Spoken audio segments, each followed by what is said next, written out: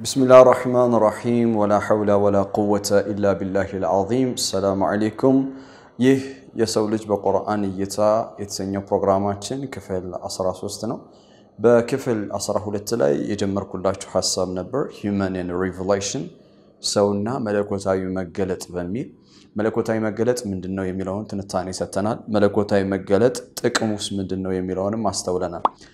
ዛሬ ሶስተኛ የምናነሳው ስለ መለኮታዊ መገለጥ ስንነጋገር the role of revelation in our life በእኛ ህይወት ውስጥ መለኮታዊ መገለጥ ያለውን ሚና እንመለከታለን።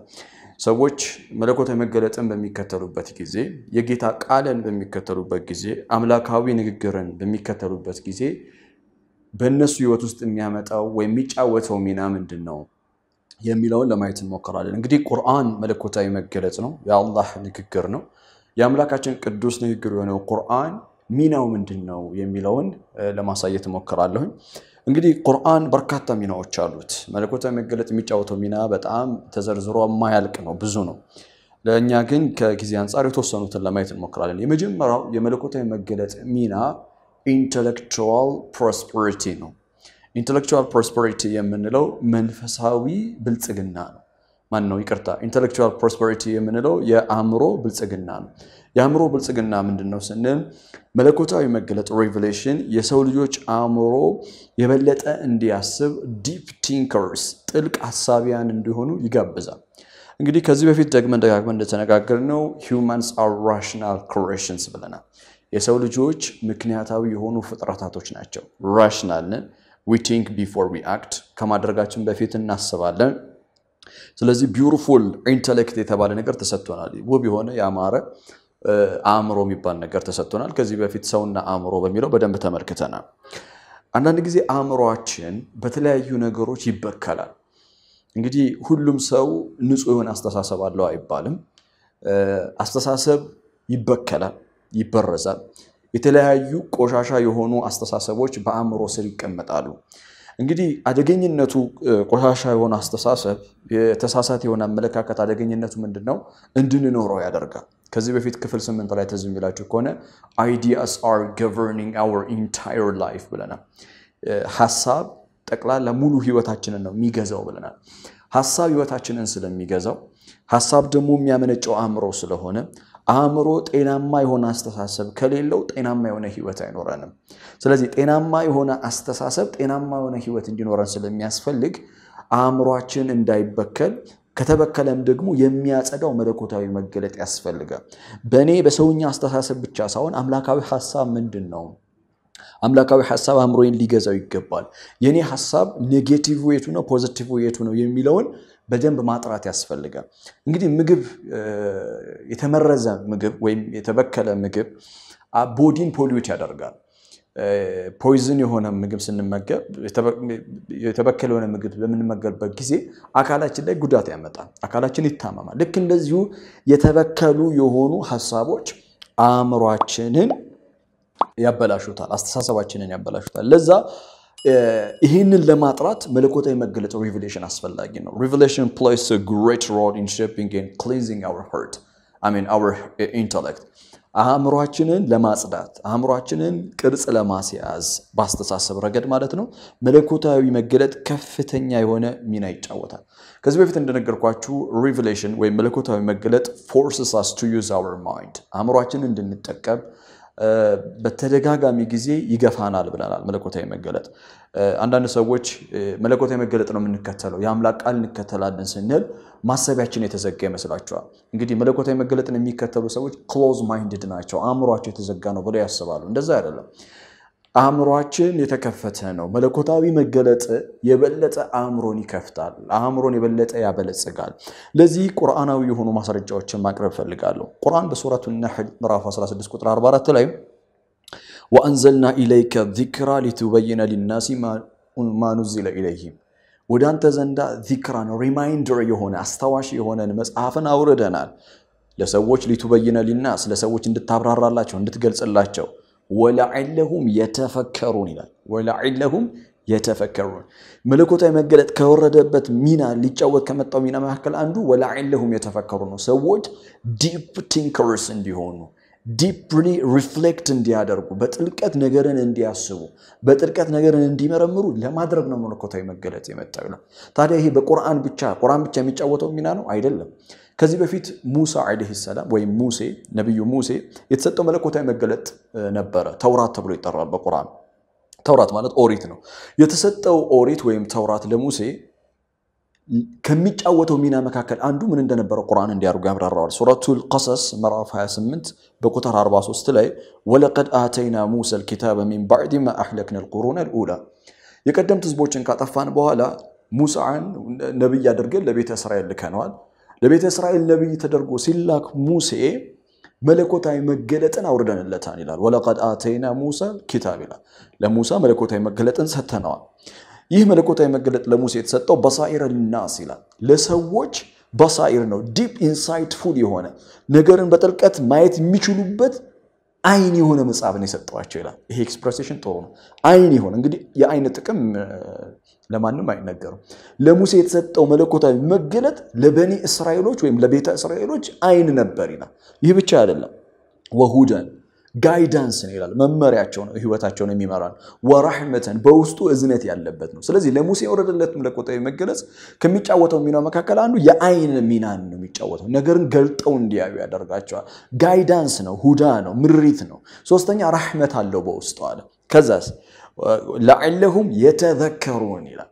ለቤተ እስራኤሎች ይህ መጽሐፍ በሙሴ በኩል የተሰጣቸውም لعلهم يتذكرون تذكر deep reflection engagement ማለት ነው። ጥልቅ የሆነ ሀሳብ ማድረግ ጥልቅ የሆነ ነገርን የማሰብ የማብሰልሰል ቁጭ ብሎ ነገርን በጥልቀት የማየት ሚናን እንዲጫወት መለኮታዊ መገለጥን ተውራትን ወይም ኦሪትን ለሙሴ ሰጥቼዋለሁኝ ይላል ጌታ።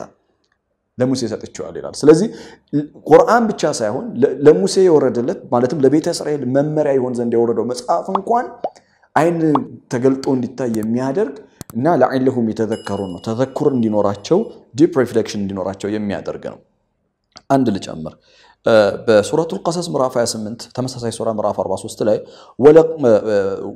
46ኛው አያ ላይ وما كنت بجانب الطور إذ نادينا ለነቢዩ መሐመድ የተነገረ ቃል ነው። ጌታ ነው የሚላቸው ለነቢዩ መሐመድ ሙሴን በሲና ተራራ ጠርተን ባናገርን ጊዜ በወቅቱ አንተ እዛ አልነበርክም ይላቸዋል።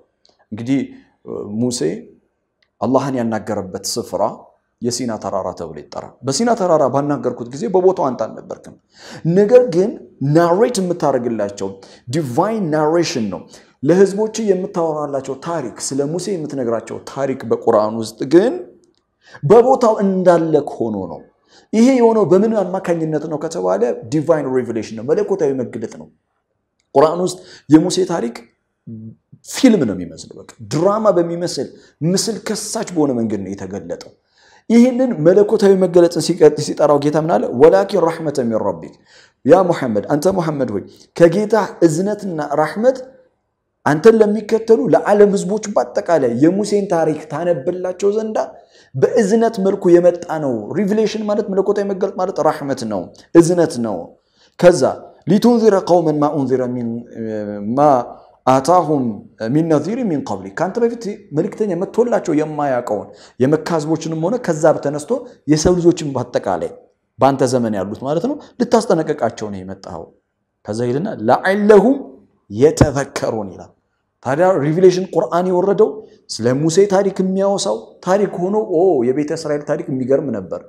ቤተ እስራኤሎች በጣም ነበር ጌታን ያመፁት። ሙሴ ከጌታ ጋር የነበረው ግንኙነት ያምር ነበር። ሙሴ ለህዝበ እስራኤል እረኛ ነበር ብለን ብቻ እንድናልፈው አይደለም። ከሙሴም ከቤተ እስራኤልም ህዝቦች ትምህርት እንድንወስድ ነው። ከታሪኩ ትምህርት የምንወስደው ደግሞ እንዴት ነው? لعلهم يتذكرون ነው። تذكر በማድረግ ነው። deep reflection በማድረግ ነው። ጥልቅ የሆነ በማሰብ መለኮታዊ መገለጥን መረዳት ነው። so መለኮታዊ መገለጥ ከመጣበት ሚና መካከል አንዱ ሰዎች deep thinker እንዲሆኑ ጥልቅ አሳቢ እንዲሆኑ አእምሯቸውን እንዲጠቀሙ ነው። እንግዲህ መለኮታዊ መገለጥ አእምሯችን እንድንጠቀም over and over ያለማቋረጥ ይጋብዘናል ብያቸዋለሁኝ። አእምሯችንን መለኮታዊ መገለጥ ያጥባል፣ ቆሻሻ የሆኑ ሀሳቦችን ያጥባል። ሰዎች ዛሬ የሞተ ሀሳብ ያላቸው ሰዎች አሉ። ያ የሞተው ሀሳብ ለቤተሰብ አይጠቅምም፣ ለማህበረሰብ አይጠቅምም፣ ለሀገር አይጠቅምም፣ ለማንም አይጠቅምም።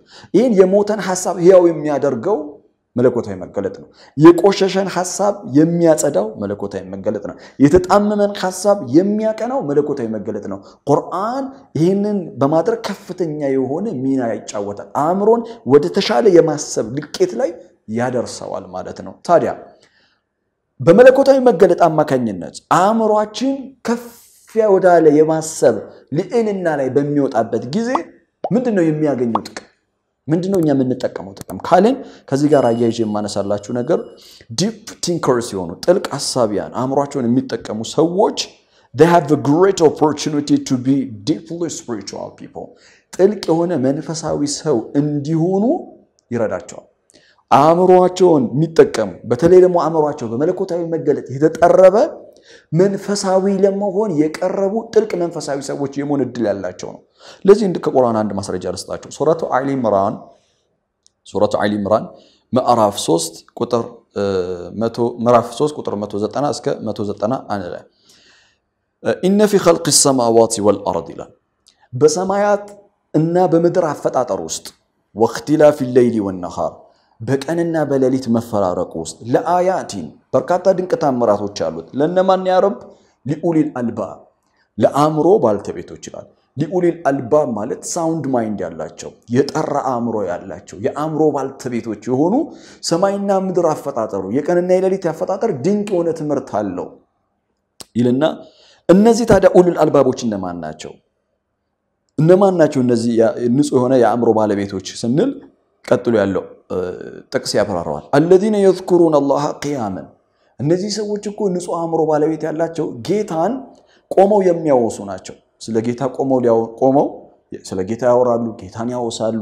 በነገራት ሁሉ ስለ ጌታ ስለ አላህ ታላቅነት የሚመሰክሩ ናቸው። وقعودا ቁጭ ብለውም ይላል ረጅም ሰዓት ቁጭ ብለው ስለ ጌታ ያወራሉ፣ ስለ ጌታ ያወሳሉ፣ ጌታን ይዘክራሉ። وعلى جنوبهم ደገፍ ብለውም ደግሞ ቤታቸው ውስጥ ተኝተውም ጌታን የሚያስቡ ናቸው። ከጌታ ጋር connection ያላቸው ናቸው። ታዲያ ይሄ spiritual activity ነው አይደል? መንፈሳዊ ድርጊት ነው እኮ ይሄ። ይሄ መንፈሳዊ ድርጊትን ተመልከቱት። ويتفكرون في خلق السماوات والأرض ከዛም በፍጥረት ላይ deep የሆነ reflection አላቸው ይላል። deep የሆነ ጥልቅ የሆነ ያስተነትናሉ በፍጥረት ላይ خلق السماوات والأرض በሰማይና በምድር መፈጠራቸው ሰማይን بغير عمد ترونها ይላል። በማታዩት ምሰሶ ነው ያቆመው ሰማይን ይላል። ሰማይን የፈጠረ ምድርን ያዘጋጀ ጌታ የሚደንቅ ነው ብለው ፍጥረት ላይ ያስተነትናሉ። ويتفكرون في خلق السماوات والأرض። ጥሩ ታዲያ አእምሯቸውን ተጠቅመው በሰማይና በምድር አፈጣጠር ላይ reflect ሲያደርጉ ግቡ ምንድን ነው? ግቡ ربنا እንዲህ ይላሉ። ربنا ጌታችን ሆይ ما خلقت هذا باطلا ሰማይና ምድር ሌሎች ፍጥረታቸውን ما خلقت هذا باطلا ለጨዋታ ለቀልድ ዝም ብሎ አይደለም የፈጠርካቸው። it ከጀርባው ጥበብ አለው፣ ከጀርባው ሚስጥር አለው፣ ከጀርባው ዓላማው አለው። ፍጥረት ዝም ብሎ አልተገኘም። ما خلقت هذا باطلا ይህንን ብሎ የሚያስብ ካለ سبحانك አንተ ከጎዶሎ ባህሪያት ሁሉ የጠራህ ነህ። ሱብሓነክ አያችሁ፣ ሱብሓነክ ጌታን ከጎዶሎ ባህሪ ሁሉ የጠራህ ነው። ፍጥረትን እኮ በዓላማ ነው የፈጠርከው፣ እንዲሁ በከንቱ ለጨዋታ አይደለም የሚለው ጸሎታቸው መንፈሳዊ ነው። ቀጥሎ ምን አሉ? ወቂና አዛበናር አሳማሚ ከሆነው የጀሃነም ቅጣትም እኛን አትርፈን ብለው ጸሎት ያደርጋሉ። በዚህ አያ ውስጥ የምናየው ሁለት ነገሮች አሉ። አእምሯቸውን የሚጠቀሙ የአእምሮ ባለቤቶች ጥልቅ የሆነ መንፈሳዊ እንቅስቃሴን ያደርጋሉ። ይህ መንፈሳዊ እንቅስቃሴ ጌታን ማውሳት ነው። ቆመው ሊሆን ይችላል፣ ቁጭ ብለው ሊሆን ይችላል፣ ተኝተው ሊሆን ይችላል። in all their activities ባሉበት ቦታ ባሉበት በተሰጣቸው ጊዜ ስለ ጌታ የሚያስቡ ስለ ጌታ የሚያወሱ ጌታን ዘውትር ከአንደበታቸው የጌታ ስም የማይለይ ነው። መንፈሳዊ ናቸው። deeply spiritual people ናቸው። ስለዚህ አእምሯቸውን የሚጠቀሙ ሰዎች መንፈሳዊ ሰዎች እንዲሆኑ ስለሚያደርግ መለኮታዊ መገለጥ አእምሮን የተሻለ ሀሳብ እንዲኖረው በማድረግ ከፍተኛ የሆነ ሚና ይጫወታል ማለት ነው። ለሁላችንም ብሩህ የሆነ አእምሮ ጌታ እንዲሰጠን ጸሎቴ ነው። ሁለተኛ መለኮታዊ መገለጥ ከሚጫወተው ሚና መካከል purification of the soul ነው። በአረበኛ تزكية النفس ይባላል። ነፍስን የማጽዳት ስራ ይጫወታል መለኮታዊ መገለጥ። እንግዲህ በክፍል አራትና አምስት ላይ ከዚህ በፊት እንደገለጽኩት nature of soul ስለ ነፍስ ተፈጥሮ ማንነት አውርቻችሁ ነበር። ክፍል አራትና አምስት ላይ የሰው ልጅ በቁርአን እይታ በሚለው የሰው ልጅ combination of body and soul ነው። ሰው የነፍስና የአካል ውጤት ነው ብለናል። body አካል የሚያስፈልገውን ነገር ከምድር አፈር ያገኛል፣ የሚበላው የሚጠጣው። ነፍስ ደግሞ እንዳትቀጭጭ እንዳትሞት ሕያው የሚያደርጋት የሚያበለጽጋት የሚያፋፋት ነፍስን መለኮታዊ መገለጥ ነው። ምክንያቱም ነፍስ ከሰማይ ስለሆነች ሰማያዊ የሆነ ምግብ ነው የምትፈልገው። ይህ ሰማያዊ የሆነው ምግብ ደግሞ ለነፍስ መለኮታዊ መገለጥ ነው፣ revelation ነው ብያችሁ ነበረ። ስለዚህ one of the great role of the revelation is cleansing the soul from all kind of impurities ከመለኮታዊ መገለጥ ከሚጫወታቸው ሚናዎች መካከል አንዱ ነፍስን ከተለያዩ ቆሻሻ ነገሮች ማጽዳት ነው። እንግዲህ አካል በተለያየ አይነት ነገር ሊበከል ይችላል። እንግዲህ አካላችን ሲቆሽሽ በውሃ ታጥበን እንጸዳለን። ልብሳችን ሲቆሽሽ በውሃ ጸድተን እንቀርባለን። ውሃ ባይኖር ዛሬ እኔ እናንተ ፊት አልቆምም ነበር። የውሃ ሚና ከፍተኛ ነው። ልክ እንደዚሁ አካል በተለያዩ ነገሮች እንደሚቆሽሽ ነፍስም በኃጢአት በወንጀል በክፋት አሰራር ትቆሽሻለች። ነፍስ በምትቆሽሽበት ጊዜ የሚያጸዳት፣ በምትቀጨጭ ጊዜ የሚያፋፋት በምትሞት ጊዜ ሕያው የሚያደርጋት መለኮታዊ መገለጥ ነው። ለዛ ነው መለኮታዊ መገለጥ ሬቨሌሽን ከሚጫወተው ሚና መካከል አንዱ ልክ እንደ ዝናብ ወይም ውሃ እንደሚጫወተው ሚና ነው። ውሃ እኛን የማጥራት ዝናብ እኛን የማጥራት ሚና አለው። ዝናብ ምድር ቡቃያ አብቅላ እኛን እንድትመግበን ያደርጋል። ስለዚህ የሞተችዋን ምድር ሕያው የሚያደርጋት ዝናብ ነው ከሰማይ የሚመጣው። ልክ እንደዚሁ የሞተውን ነፍሳችንን ሕያው የሚያደርገው አንዳንድ ጊዜ እንላለን እነ ሰዎች ህሊና የላቸውም እንዲህ ህሊናቸው ሞተዋል እንዴ እንላለን አይደል? እንዴት ውስጣቸው ضمير የላቸውም እንዴት እንደዚህ ያደርጋሉ እንላለን። ያንን ህያው የሚሆነው ከ revelation ጋር connection ሲኖር ነው ከመለኮታዊ መገለጥ ጋር ትስስርነት ሲኖር ነው። ስለዚህ መለኮታዊ መገለጥ ለነፍስ ምግቧ ነው ማለት ይቻላል። ነፍስን መለኮታዊ መገለጥ rejuvenate ያደርጋታል revive ያደርገዋል ያድሰዋል ያፋፋዋል። ለዚህ ለምሳሌ ቁርአን በሱረቱል አዕላ ምዕራፍ 87 ከቁጥር 14 እስከ 15 ያሉ አያቶችን ብናይ ቀድ አፍላሐ መን ተዘካ ይላል። ነፍሱን እንደ ገበሬው ሆኖ የኮተኮተ ነፍሱን ከኃጢአት ያጸዳ ነፍሱን ኃጢአት ውስጥ እንዳትወድቅበት ልክ እንደ ገበሬ የተንከባከበ ገበሬ አይታችሁ ከሆነ ዝናብ ከሰማይ እንዲመጣ ይጠብቃል። የዘራውን ዘር እንዳይበከል ወይም በቆሻሻ እንዳይሸፈን ቆሻሻ ካለ ሄዶ ቆሻሾቹን ሁሉ ያነሳል። አላስፈላጊ ነገሮች ገብተው እንስሳም ሊሆን ይችላል እርሻውን እንዳያበላሹበት ጥንቁቅ ነው፣ ይጠነቀቃል። ገበሬ በጥንቃቄ ነው ይሄን የሚሰራው። ልክ እንደዚሁ ነፍሳችን ለእኛ የተሰጠች አማና ናት። ከጌታ ዘንድ የተሰጠን አማና ነው። አላህ አምኖን ይህንን አማና ይህንን በታማኝነት ትረስት አድርጋለሁ እናንተ ጋር ብሎ ሰጥቶናል። የሰጠንን ነፍስ ልክ እንደ ገበሬ ቀድ አፍላሐ መን ተዘካ ነው። ነፍሱን እንደ ገበሬ የሚኮተኩት ቆሻሻ እንዳይነካት ወንጀል እንዳይነካት የሚጠብቅ የሚያጸዳ ከሰማይ ዝናብ እንደሚጠብቅ ገበሬ እኛ ደግሞ የምንጠብቀው ከሰማይ መለኮታዊ መገለጥ ስለወረድልን ለነፍስ ደግሞ መለኮታዊ መገለጥን የሚመግብ ይህን የሚያደርግ ስኬታማ ነው ይላል ቁርአን። successful ነው። ታዲያ ይህንን ስኬት እንዴት ነው የምንጎናጸፈው? ነፍሳችን እንዴት ነው የምናጸዳው? ሁለት mechanism ኦችን ይነግረናል ቁርአን። وذكر اسم ربه فصلى። ሁለት mechanism وذكر اسم ربه የጌታን ስም ያለማቋረጥ ማውሳት سبحان الله والحمد لله ولا إله إلا الله والله أكبر። የጌታን ስም ያለማቋረጥ በነገሮች ሁሉ ማውሳት፣ የጌታን ስም አንደበት ላይ ማድረግ፣ ልብ ላይ ማድረግ፣ ጌታን ሁል ጊዜ በእያንዳንዱ እንቅስቃሴያችን ውስጥ ማሰብ ነፍስ ኃጢአት ውስጥ እንዳትወድቅ ነፍስ በኃጢአት ባርነት እንዳትያዝ የማድረግ ሚና ከፍተኛ ነው። ነፍስን የመገሰጽ የማፋፋት የማበልጸግ ሚና ከፍተኛ ነው። ምክንያቱም ነፍስ የምትፋፋው የጌታዋ ስም ሲወሳ ነው። ወዘከረ ስመ ረቢህ። ሁለተኛው ፈሰላ ለጌታው ክብር ሲሰግድ ነው። እንግዲህ እንደ ሙስሊሞች እንደ ሙስሊምነታችን በቀን አምስት ጊዜ እንሰግዳለን። ይሄ በቀን አምስት ጊዜ የምንሰግደው ሰላት ከሚሰጡን ጥቅሞች መካከል አንዱ መንፈሳዊ ብልጽግና ነው። ይሄ spiritual prosperity የምንለው መንፈሳዊ ብልጽግና የምናገኘው ደግሞ በሰላት ውስጥ ነው። በሰላት ውስጥ በምናደርገው ስግደት የበለጠ ከወንጀል እንድንቆጠብ፣ ከማጭበርበር እንድንቆጠብ፣ በጣም መልካምና ጥሩ ሰዎች እንድንሆን የማድረግ ከፍተኛ ሚና አለው።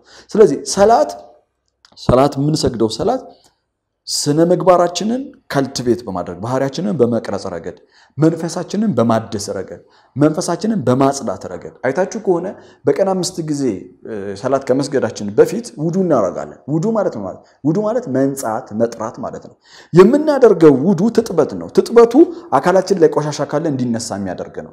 ከዛ አላሁ አክበር ብለን ሰላቱ በምንሰግድበት ጊዜ ይሄ ደግሞ ሰላት ነፍስ በኃጢአት ቆሻሻ እንደሆነ ነፍስ በኃጢአት ተበክላ እንደሆነ የሚያጠራት የሰላቱ ተግባር ነው። በሰላት ውስጥ የሚደረግ ዚክር ነው ወይም ደግሞ ጌታን ማውሳት ነው። ስለዚህ ቀድ አፍላሐ መን ተዘካ ወዘከረ እስመ ረቢህ ፈሰላ ነው። መለኮታዊ መገለጥ ከሚጫወተው ሚና መካከል ሁለተኛው ነፍስን በማጽዳት ነፍስን በማጥራት ላይ ከፍተኛ የሆነ ሚና ይጫወታል። መለኮታዊ መጽሐፍን ስናነብ ነፍሳችን ሐሴት ታደርጋለች፣ ባህሪያችን፣ ስብዕናችን ይቀየራል። ሌሎችም በርካታ የሆኑ መለኮታዊ መገለጥ የሚጫወታቸው ሚናዎች አሉ። በክፍል 14 ላይ ሌሎች ዝርዝሮ ነገሮችን ይዤላችሁ እመጣለሁ። ለዛሬ እዚህ ላይ እናቆማለን። አእምሯችን ብሩህ አእምሯችን የበለጸገ ነፍሳችን ከኃጢአት የጠራ እንዲያደርግልን ዱዓይም ጸሎቴም ምኞቴም ነው። አመሰግናለሁኝ።